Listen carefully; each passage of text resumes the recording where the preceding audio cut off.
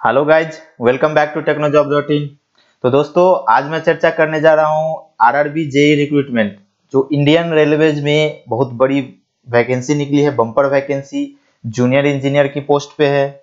तो जो candidate engineering करके बैठे हुए हैं या डिप्लोमा इन इंजीनियरिंग करके बैठे हुए हैं, उसके लिए ये जॉब जो है, सो आपका बहुत ही इंपॉर्टेंट है।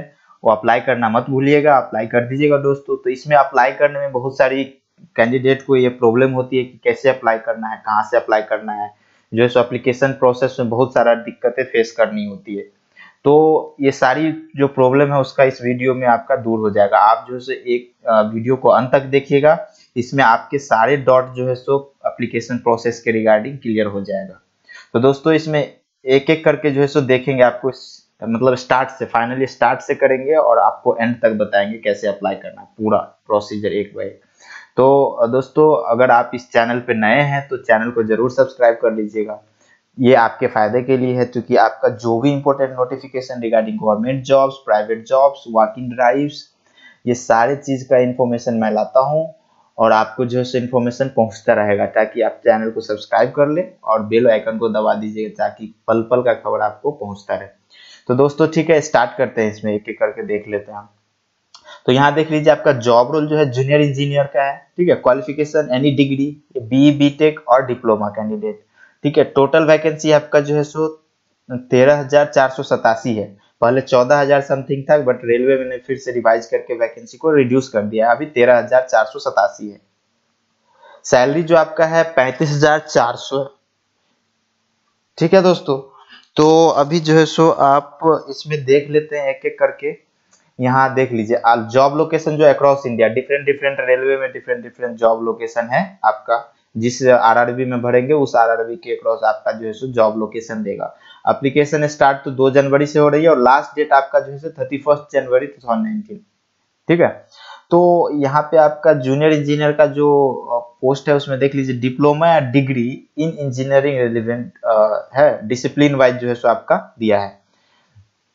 एक जो है आपका ये पोस्ट है डिपोर्ट मटेरियल सुप्रीडेंट इसमें जो है सो डिप्लोमा या degree in engineering from any discipline कोई भी डिसिप्लिन का अप्लाई कर सकता है इसमें, ठीक है? और एक है जूनियर इंजीनियर इंफॉर्मेशन टेक्नोलॉजी तो इंफॉर्मेशन टेक्नोलॉजी के लिए जो आपका होना चाहिए, वो होगा post graduate diploma in computer application या बीएससी होना चाहिए कंप्यूटर साइंस में। ठीक है? या बीसीए होना चाहिए, या B tech information technology BTech computer science होना चाहिए।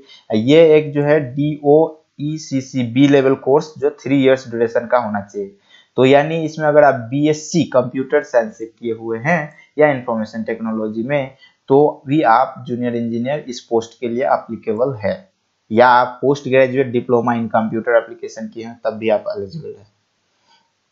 तो दोस्तों, इसमें एक और पोस्ट है केमिकल एंड मेटेलरिकल असिस्टेंट इसमें आपको बैचलर डिग्री होना चाहिए in science with physics and chemistry तो जो बंदा बैचलर डिग्री जो साइंस से किया हुआ है या फिजिक्स या केमिस्ट्री से, वो भी इसमें अप्लाई कर सकता है। तो ठीक है दोस्तों और आज आपका एज जो होना चाहिए आपका 18 टू 33 इयर्स मिनिमम 18 और मैक्सिमम 33 ठीक है? अब जो है देख लीजिए टोटल वैकेंसी इतना है। जूनियर इंजीनियर का सबसे ज़्यादा है बारह सौ बारह हज़ार आठ सौ चौवालीस और इंफॉर्मेशन टेक्नोलॉजी के लिए ट्वेंटी नाइन और ये आपका सुप्रीडेंटेंट जो है डिपोर्ट मटेरियल के लिए two twenty seven chemical and metallurgical assistant के लिए थ्री एटी सेवन पोस्ट है। तो ये सारा वैकेंसी टेबल देख लिया आपने। अब आप देखते हैं सिलेक्शन प्रोसेस जो है क्या है। तो सिलेक्शन प्रोसेस में आपको टू स्टेज एग्जामिनेशन आपको फेस करना होगा। जो फ़र्स्ट होगा वो सीबीटी बेस्ड होगा one first stage again second stage जो है सो सीबीटी होगा।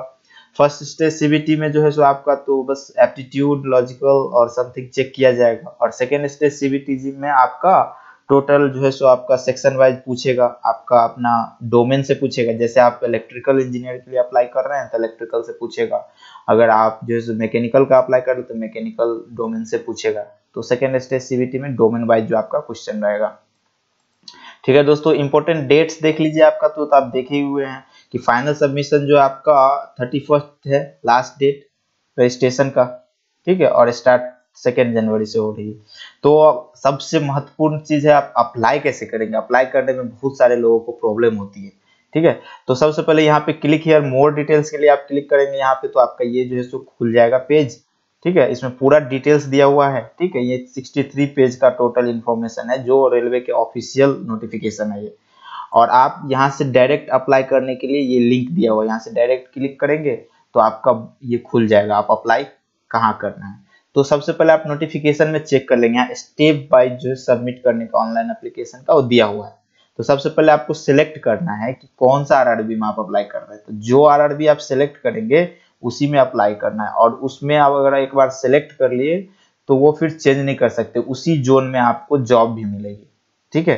तो आप सही सलामत जो सिलेक्ट करेंगे आरआरबी कौन सा सिलेक्ट करना है, वो देख लेंगे कि किस आरआरबी में कितना वैकेंसी है, पहले वो चेक कर लेंगे। तो दोस्तों, मैं ये बताना चाहूँगा कि चेन्नई, कोलकाता, मुंबई, ये सारे जो है ना वैकेंसी ज़्यादा है। सबसे ज़्यादा मुंबई में है उसके बाद सेकेंड स्टेज में जो है सो कोलकाता है, फिर चेन्नई है, फिर चंडीगढ़ है, ये सारे चार पाँच जो आरआरबी है, उसमें सबसे ज़्यादा वैकेंसी है। ठीक है? तो आपको जिस हिसाब से आपका सहूलियत हो, वो जो है उस हिसाब से आप आरआरबी सेलेक्ट कर लीजिए। उस आरआरबी सेलेक्ट करने के बाद जो है आप अप्लाई कर सकते हैं। आरआरबी इलाहाबाद में भी बहुत सारी वैकेंसी है। तो जैसे मैं सेलेक्ट कर रहा हूँ आरआरबी इलाहाबाद तो आरआरबी इलाहाबाद सेलेक्ट करने के बाद कंफर्म कीजिए। यहाँ से फिर जो है सो आप अप्लाई कर सकते हैं, ठीक है? तो यहाँ देख लीजिए आपको स्टेप बाय स्टेप पहले यहाँ मैं बता दे रहा हूँ, ठीक तो कंफर्म करने के बाद जो है सो आपका रजिस्ट्रेशन डिटेल्स तो रजिस्ट्रेशन करना होगा। रजिस्ट्रेशन में आपका name date of birth father name ये सारा चीज़ जो है टेंथ मार्कशीट के अनुसार पूरा जो है एक एक करके भरना है, ठीक है? कोई भी चीज़ मिस्टेक नहीं होना चाहिए। और ईमेल आईडी और मोबाइल नंबर जो है सो, जो आपका करंट में चालू है, वो आपको भरना है। क्योंकि आपको ओटीपी वेरीफाई होगा ईमेल भी वेरीफाई करना होगा और मोबाइल नंबर भी वेरीफाई करना होगा। वेरिफिकेशन डन होने के बाद जो है सो आप फर्दर प्रोसेस करेंगे तो ऑलरेडी रजिस्टर्ड हो जाएँगे तो आपके पास वहाँ यूज़र आईडी और पासवर्ड जनरेट हो जाएगा। फिर यूज़र आईडी पासवर्ड से लॉगिन करेंगे, यहाँ पे नेक्स्ट जो है सो ऑलरेडी रजिस्टर्ड दिखेगा। फिर आप जो है सो रजिस्ट्रेशन नंबर और पासवर्ड डाल के रजिस्टर करेंगे। रजिस्टर करने के बाद आपको एजुकेशन क्वालिफिकेशन डालना होगा।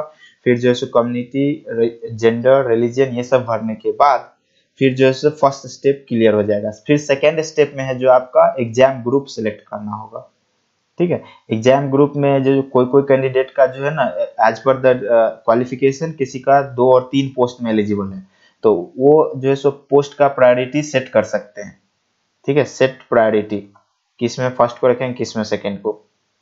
फिर जो है नेक्स्ट में आपको पेमेंट करना होगा। तो आप पेमेंट ऑनलाइन भी कर सकते हैं और ऑफलाइन आपको बैंक चालान के आधार पर करना है। तो सबसे ज़्यादा कन्वीनियंट ये होगा कि आप ऑनलाइन पेमेंट करेंगे। पेमेंट डन होने के बाद जो है सो आपका फिर कैंडिडेट यहाँ पे देख लीजिए। पेमेंट करने के बाद आ, फिर आपका फिनिश हो जाएगा। फिर आप जो है सो फाइनल सबमिट कर सकते हैं। ठीक है?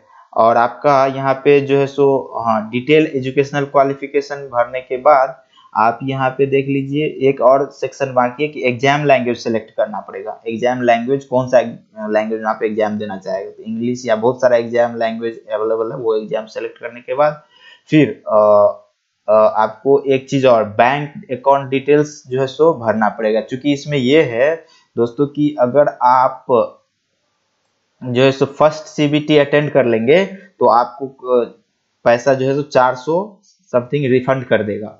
ठीक है? अप्लीकेशन फ़ी टोटली 500 लेते हैं ओबीसी कैंडिडेट और के लिए, ठीक है? और एस सी के लिए 250 है। तो आपको जो कुछ आफ्टर सीबीटी फ़र्स्ट जो अटेंड कर लेंगे, उसके बाद आपको 400 अटेंड रिफंड कर देगा। तो रिफंड करने के लिए आपको अकाउंट डिटेल जो है सो देना पड़ेगा। यहाँ पे इस केस में अगर आप अटेंड नहीं करते हैं फ़र्स्ट सीबीटी तो आपका पैसा रिफंड नहीं होगा। टोटल 500 का 500 वो लोग ले लेंगे। अगर आप फ़र्स्ट सीबीटी अटेंड कर लेते हैं तो आपका जो है सो फोर हंड्रेड जो है सो रिफंड कर देगा, ठीक है? तो रिफंड करने के लिए जो है बैंक अकाउंट और रिफंड डिटेल जो है वो भरना है। वो भरने के बाद फिर आएँगे आप फोटोग्राफ और सिग्नेचर अपलोड करना है। तो फोटोग्राफ और सिग्नेचर अपलोड करना है तो सबसे पहले जो है सो स्पेसिफिकेशन दिया हुआ है यहाँ पे, इस साइज़ में ही फोटोग्राफ होना चाहिए प्रॉपर साइज़ दिया हुआ है, ठीक है? फिर सेम साइज़ में आपका दिया हुआ है ये सिग्नेचर का भी होना चाहिए। सिग्नेचर जो है सो ब्लॉक लेटर में नहीं होना चाहिए, यानी कैपिटल लेटर में सिग्नेचर नहीं होता है। ठीक है? फिर सिग्नेचर अपलोड करने के बाद आप जो है सो अगर एस सी कैटेगरी से बिलोंग कर रहे हैं तो आपको एस सी का सर्टिफिकेट अपलोड करना होगा। ठीक है? फिर ये सब अपलोड करने के बाद फाइनल सबमिशन यहाँ है। सबमिशन ऑफ़ अप्लीकेशन फॉर्म तो आप फाइनली सबमिट कर देंगे अप्लीकेशन फॉर्म हाँ अब अगर आपको सबमिशन करने में कोई लाइक मिस्टेक हो गया अर्लियर तो मॉडिफाई कर सकते हैं कोई दिक्कत नहीं। मॉडिफाई करने का फिर सौ रुपया चार्ज लगेगा और मॉडिफाई बाद में भी कर सकते हैं आफ्टर फाइनल सबमिशन लेकिन हाँ मॉडिफिकेशन करने का दो ही आपके चांस है। दो के अलावा फिर तीसरा बार नहीं अप्लाई मॉडिफिकेशन कर सकते हैं। सो so, केयरफुली आप जो से फिल अप करेंगे फॉर्म ठीक है? तो यही सारा प्रोसीजर है जो इस तरह से आप अप्लाई कर सकते हैं। तो एक बार देख लेते हैं थोड़ा प्रैक्टिकल में कैसे अप्लाई करते हैं। आपको सारा चीज़ तो मैंने बता दिया, ऐसे करके अप्लाई करना है। एक बार प्रैक्टिकली देख लेते हैं। तो यहाँ देख लीजिए, यहाँ पे न्यू रजिस्ट्रेशन है है ना? तो यहाँ टिक कर दीजिए पूरा कंडीशन पढ़ने के बाद, फिर जो सो आप न्यू रजिस्ट्रेशन कीजिए। तो न्यू रजिस्ट्रेशन में देख लीजिए यहाँ पे, हम मैंने इलाहाबाद चूज़ किया था। तो इलाहाबाद चूज़ करने के बाद आप नेम भरेंगे, यहाँ पे नेम री इंटर नेम ये सारा चीज़ भरने के बाद एक एक करने के बाद यहाँ पे आप फाइनल डिक्लेरेशन रिजेक्ट करके फिर जो है सो यहाँ पे सबमिट करेंगे। सबमिट करने के बाद आपका registration ID and password create हो जाएगा। ठीक है? Registration ID and password create होने के बाद फिर यहाँ पे आएँगे आप। यहाँ पे फिर से आने के बाद यहाँ पे ऑलरेडी रजिस्टर्ड कैंडिडेट में क्लिक करेंगे। ठीक है? ऑलरेडी रजिस्टर्ड आईडी पे क्लिक करने के बाद आपका जो यूज़र आईडी और और रजिस्ट्रेशन आईडी और जो पासवर्ड क्रिएट होगा, उससे आप यहाँ पे लॉगिन करेंगे। और लॉगिन करने के बाद फिर जो है सो आपका एजुकेशनल क्वालिफिकेशन एंड एवरीथिंग जो है सो भरना है। तो फिर सेकेंड स्टेप में आपको फिर आगे जो मैंने बताया था यहाँ पे, ये सारे चीज़ इस तरह से भरना पड़ेगा। तो दोस्तों, इस तरह से आप जो है सो एप्लीकेशन फॉर्म भर लेंगे स्टेप बाय स्टेप अगर आपको कोई डाउट होती है फर्दर एप्लीकेशन फॉर्म भरने में तो आप वीडियो के कमेंट सेक्शन में आप कमेंट करके पूछ सकते हैं। ठीक है दोस्तों? तो अप्लाई करने का डायरेक्ट लिंक जो है सो मैं आ, वीडियो के डिस्क्रिप्शन में दे देता हूँ ठीक है? या नहीं तो आप डायरेक्ट अप्लाई कर सकते हैं। टेक्नोजॉब डॉट इन पे आप लॉग इन कीजिए गूगल में सर्च कीजिए वहाँ से आप डायरेक्ट जो है सो अप्लाई कर सकते हैं। ठीक है? तो दोस्तों आज के लिए इतना ही। फिर जो है सो मिलते हैं नेक्स्ट वीडियो में। तब तक के लिए जो है सो आप वीडियो को जो है सो लाइक कीजिएगा सब्सक्राइब कीजिए और दोस्तों के साथ शेयर कीजिएगा। ठीक है दोस्तों? तब मिलते हैं फिर नेक्स्ट वीडियो में। तब तक के लिए धन्यवाद।